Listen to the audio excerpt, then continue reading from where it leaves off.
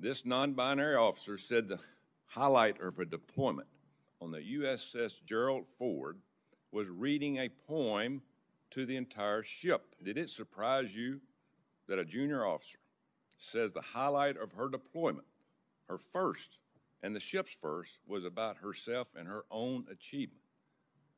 I- I'll tell you why um, I'm particularly proud of this sailor.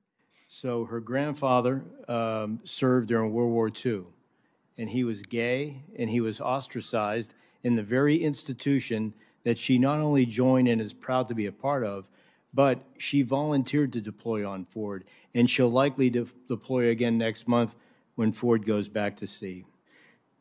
Sir, um, we ask people from all over the country, from all walks of life, from all different backgrounds to join us.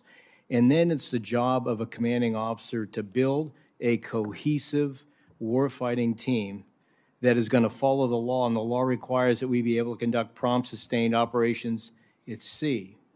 And so we have to, our, that level of trust that a commanding officer develops across that unit has to be grounded on dignity and respect. And so, if uh, uh, that officer can lawfully join the United States Navy, is willing to serve and willing to take the same oath that you and I took to, to put their life on the line, then I'm proud to serve aside them.